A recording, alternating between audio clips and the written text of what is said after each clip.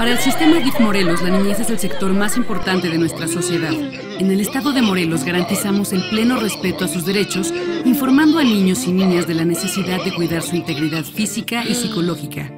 Además, actuamos contra quienes abusan de ellos a través de una fiscalía especializada en la atención de niñas, niños y adolescentes. Seamos partícipes de la denuncia y erradiquemos el maltrato infantil de nuestra cultura.